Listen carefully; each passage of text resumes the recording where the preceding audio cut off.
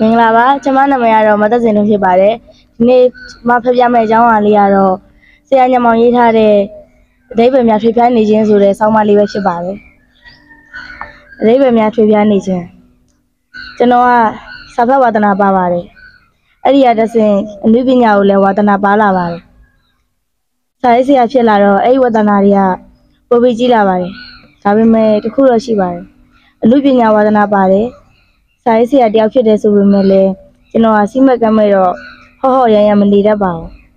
ခုလိုပြောရတာတချို့အနုပညာရှင်တွေကစာရေးဆရာတွေကလှုပ်ချက်တာကိုလုံးဝမလိုချင်ကြပါဘူးလွတ်လပ်တာကိုပဲကြိုက်တယ်ဆိုပြီးလွတ်လွတ်လပ်လပ်ကြီးကိုပဲလွတ်နေကြတတ်လို့ပါကျွန်တော်ကတော့ချုပ်တဲ့ချုပ်ချယ်တာကိုမကြိုက်ပေမဲ့လွတ်လပ်တာကိုမြင်လို့ပဲ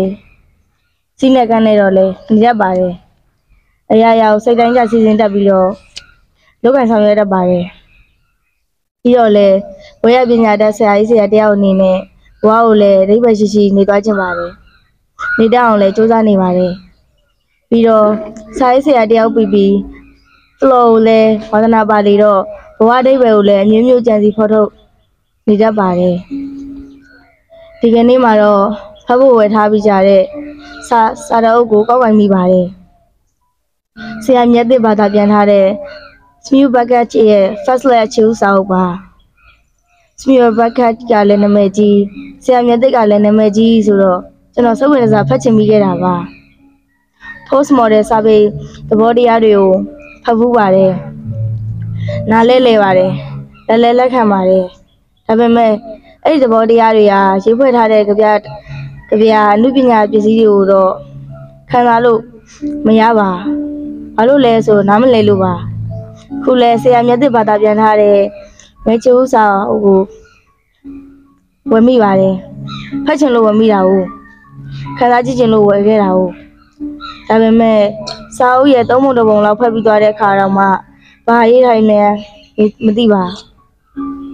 ဆရာမြတ်သစ်ရဲ့ဘာသာပြန်ကောင်းပါတယ်ဆရာရဲ့ဘာသာပြန်အဒီအရေးသားလည်းရှင်းပါတယ်ဒါပေမဲ့မြန်မာလူရေးထားတဲ့မြန်မာစာတွေဖြစ်ပေမဲ့လည်း ဘာတွေထားမှနားမလဲပါကြည်လေအကယ်၍ဤအရာထိုအရာဖြစ်ခဲ့ပါသာတုတ်သက်စေဤအရာထိုအရာဖြစ်ခဲ့ပါက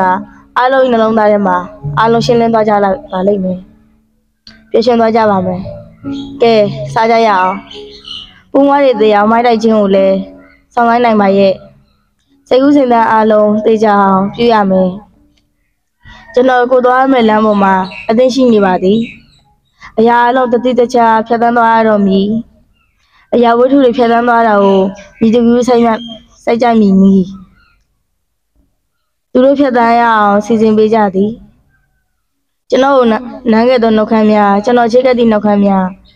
ထိုနှလုံးသားသည်တဦးတယောက်ကိုချစ်ခဲ့သည့်နှလုံးသားဟုတ်ရဲ့လားမဟုတ်ဘူးလားသို့မဟုတ်တခြားတစ်ခုနဲ့များကျွန်တော်အမမငယ်ခဲ့သည်လားကဲဘယ်နဲ့ရှိစား ကျွန်တော်တော်တော်ရှစ်ဆုပ်စိတ်ရှုပ်သွားတယ်စိတ်ညစ်သွားတယ်ဇလန်းလည်းမရှိဘူးဘာချိတ်ဆက်မှလည်းမရှိဘူးဝါကြတွေကဟိုကုန်းတီကူးနဲ့မြောက်ဟိုဟာတမန်ရှိသလိုဖြစ်နေပြီနားမလဲတဲ့စာကိုဆက်မဖတ်ချင်တော့ဒါနဲ့စာအုပ်ကိုဗီဒီယိုထဲမှာပဲဖုန်းတက်ခံလိုက်တော့တယ်ဒါနဲ့ပဲဖတ်ဆရာစာအုပ်တော့ဝယ်ဖို့ထွက်ခဲ့တယ်ဆိုင်ရန်ကလေးနဲ့ပေါ့ ဖေးဖေးညင်တာပဲဆိုင်ငယ်ကိုစီးနေရင်ကနေပဲ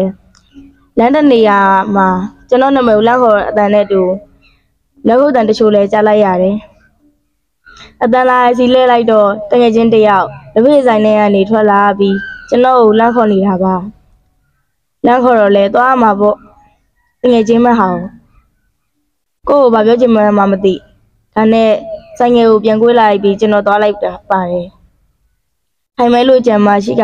ရှိကရှိသေးထိုင်ကုန်ပေါ်တော့ဖွင့်မချသေးထုံးမအောင်ဆုံးပြီကွာတဲ့ကျွန်တော်တော်တော်အံ့ဩသွားတယ်ဘာလို့ဆိုထုံးမောင်ကစိတ်လိတ်မတော့ကိုမစားအရက်မတော့ဖွယ်နေတဲ့ကောင်လေကျွန်တော်တို့လိုဟိုဆက်ဆက်ဒီဆက်ဆက်ပါတဲ့ကောင်မျိုးမဟုတ်ဘူးလူလိမ္မာကလေးပေါ့ဘာနဲ့ဆုံးသွားရလဲလို့ပြီးတော့ကင်ဆာရတဲ့ဖြစ်နေရ6လကျော်ကျော်လောက်တော့မှရှိနေပြီတဲ့လी ကိုယ်နိုင်လုံးလုံးအခုဒီတက်ရှင်နေတာတဲ့။ဘာကင်ဆာလဲလို့မေးလိုက်တော့အသက်ကင်ဆာတဲ့။ဟင်သူမရမတော့ပဲလို့ပြန်ပြောလိုက်တော့อืมအဲ့ဒါတော့ငါလည်းမသိဘူးဆရာဝန်နေပြောတာတော့အသိကင်စားရတဲ့လက်ဖေးရည်ကိုတခြားတောက်ရင်ကျွန်တော်တက်ပြင်းချမိတာပေါ့ပြီးတော့ကျမရဲ့အတွက်နေတိုင်းလမ်းလျှောက်တတ်တဲ့ထုံးမောင်ကိုမျက်စိနဲ့မြင်အောင်နေမိတယ်နောက်ပြီးတော့လဲသူ့ပွဲရုံကလေးကိုစူးစမ်းပန်းစားလုပ်နေတော့လဲ အတော်လေးစူးစောင်းမိနေတာကိုလဲပြန်မြင်အောင်သေးတယ်အဲ့ဒါနဲ့ဆက်ပြီးဘာမဆိုမလို့မကန်းလုပ်တတ်တဲ့ကိုယ့်ရဲ့အတွက်ကိုယ့်ကိုယ်ကိုအတွက်လဲစိုးရင်လာတယ်ကြောက်လာတယ်ဒါနဲ့အတုဘအိမ်ကိုတငယ်ချင်းနှစ်ယောက်စိတ်တူသဘောတူရောက်သွားကြတယ်ဝိတရားအရာလဲပါသလိုကိုယ်တငယ်ချင်းကိုခင်မင်းချင်းခင်မင်းချောင်းပြကြလဲပါတာပေါ့လေဟိုမှာတငယ်ချင်းတစုရောက်နေနေတာကိုလဲ တွေ့လိုက်ရတယ်သေးတဲ့လူကလည်းမလို့မချက်သေးနေပြီပေါ့ကျွန်တဲ့တငယ်ချင်းတွေကတော့ပြပြပါပဲထုံးမောင်မာခဲ့တယ်မိယာနဲ့အမြန်လိုက်ခဲ့တဲ့အာငမလိုက်ချင်သေးပါဘူးအတော့ကြီးတယ်မင်းသားအရင်လိုက်ထုံးမောင်လေးလိမ္မာအဲထုံးမောင်လိုလိမ္မာတဲ့ကောင်မကင်ဆာဖြစ်ရတယ်လို့ကွာတကယ်ဖြစ်ရမှာမင်းတို့တွေကွာကိုလို့လို့ကိုခွင့်ရတယ်ဆိုထားပါတော့အရက်တော့လို့အသက်ခိစ္စဖြစ်ရတယ်ဆိုရင်ခံသာပါသေးတယ် ခုတော့ကွာဟွန်းတယောက်တော့ပေါ့တူတူတစ်မျိုးကြက်ကြက်တစ်မျိုးပေါက်တဲ့ခေရတယ်ပြောပြနေကြပါတယ်အဲဒီရက်ထဲတယောက်ကထနောက်တယ်ဘောလုံးဘောလုံးဆိုတာရှူတိုင်းလဲကိုပေါက်မတည့်ဘူးကွာကိုပေါက်တဲ့တိုင်းလဲကိုမဝင်ဘူးကိုသမားကကောက်ဝယ်လိုက်နိုင်တယ်လေပြီးတော့ကိုဝင်သွားတိုင်းလဲကိုမရဘူးကွာလူကျွန်းတာလည်းဖြစ်နိုင်သေးရဲ့လေကြီးတော့ကိုရဖို့ဆိုတာအင်မတန်ခက်ခဲတာမလား တို့ကတော့မကိုသေးဘူးဟဲ့သူကတော့နောက်လိုက်တာပါဒါပေမဲ့သူစကားတွေထဲမှာတသနာတွေပါနေတယ်လို့ကျွန်တော်ထင်မိလိုက်တယ်အတုပအင်ကပြန်ထွက်လာတော့စုံစည်းခဲ့တဲ့တငယ်ချင်းစတိုက်ဝိုက်ဖွဲ့မိကြတယ်ဒီလိုမစုံတာနှစ်တွေလာပြီကြာပြီဆိုတော့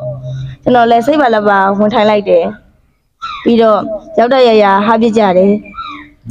ငယ်ကျုံငယ်တာအကြောင်းတွေလည်းပါတော်ဒီကရလည်းပါတော့ပေါ့ညညလည်းမတော့ဖြစ်ကြပါဘူးတယောက်သုံးလေးပဲလောက်စီပေါ့ ငွေရှင်းတော့စားဝယ်ဖို့ထည့်လာတဲ့ပတ်စံအားလုံးကျွန်တော် share အဖြစ်နှမျိုးမရှိရရရထည့်လိုက်ပါတယ်လူစုခွဲလိုက်ကြတော့အရင်မတော့တဲ့တငယ်ချင်းတယောက်ကဖះတော့တက်မပြောတယ်သူစကားကြလိုက်တော့ဖះဘောကကြီးလို့ရတဲ့ရွှေမြော်ကင်းကိုချက်ချင်းတတိယသွားပြီးဖះဘောလိုက်တက်ဖို့စိတ်ပါသွားတယ်အဲ့ဒီဖះဘောတက်မဲ့တငယ်ချင်းကကျွန်တော်ဆိုင်ငယ်နဲ့သူ့ကိုဖះလိုက်ဖို့ကူညီတောင်းတယ်ကျွန်တော်လည်းစနာပြေးပါသွားတာပေါ့ဟုတ်တယ် ရှင်မြင်တော်ကနေကြည့်ရင်အေယာဝတီမြကြီးကိုအတိုင်းသားမြင်ရမယ်တစ်ဖက်ကန်းကတောင်တန်းတွေကိုလည်းဆင်းစစ်ဆူမြင်ရတယ်ကိုယ့်ရဲ့မျိုးကလေးအလားကိုလည်းငုံကြည့်ရင်မြင်ရတယ်ပြီးတော့ဝေးရမြင်ကွင်းလှလှလေးကိုလည်းလက်မြင်နိုင်တယ်ဖះကဖះကကိုယ်ခန့်မြင်မြင်ပေါ်မှာတည်ထားတာကိုဒီတော့ဖះပေါ်ကနေကြည့်ရင်မြင်မြင်သမျှရှူခင်အားလုံးဟာအလားပါတွေကြီးပဲပေါ့အဲ့ဒီအခါမှာအနုပညာဆိုင်ကမတိမတာလေးဝင်လာတယ် အလားပါတွေကိုခံစားကျင်လာတယ်အထူးသဖြင့်အခုလိုညနေခင်းလိုမျိုးတွေဆိုရင်ဆဲတာတိန်တွေကလှလှပပတောက်ချင်တောက်နေပါလေဂျင်းမင်းတော်ပေါ်ရောက်တယ်ဆိုရင်ပဲကျွန်တော်ဟာကလေးငယ်လေးတယောက်လို YouTube ပြောပါသွားပြီးအေယာဝတီမြေကြီးရှိရာဘက်စီအရင်ပြေးသွားကြည့်မိပါတယ်။ဇင်းမြက်ပြဖဲရကြီးဟာလှပတည်ငိမ်စွာလဲလျောင်ပြနေရဲ့ တဘာရှူရင်းလှပတွေကိုယူဝေကလေးနဲ့ဒီဇိုင်းမမတ်ခန်းစားနေရင်ကနေကျွန်တော်တငယ်ချင်းကိုတတိယလို့လှမ်းကြည့်လိုက်တယ်။သူကဖျားစစ်ကိုလို့ပရိစိတ်နေလေရဲ့ဒီတော့မှတတိယလိုက်တယ်။ကြည်စမ်းမအောင်ဘလောက်ဘလောက်တောင်မိုက်တဲ့ကံမလဲ။ဖျားကိုတော့မေ့ပြီးလူပညာလှပတွေစိတ်ဝင်စားနေပုံကဟွန်းဟုတ်လဲဟုတ်ပါတယ်လေဖျားဘော်တလာကိုကတဘာဝရှူရင်းလှပတွေကိုနေချင်လို့လာတာပဲလေ ကိုမူနေနံလေးဖျားမှာဥဒေချင်းချာရင်ဖျားကိုဖူးမြော်လိုက်တယ်ဖျားမျက်နှာတော့ကကျွန်တော်ကိုပြုံးစစ်စီစိုက်ကြည့်နေတယ်လို့ရှင်ထဲမှာခံစားမိတယ်ကျွန်တော်တည်တည်ချာပြန်ကြည့်ရ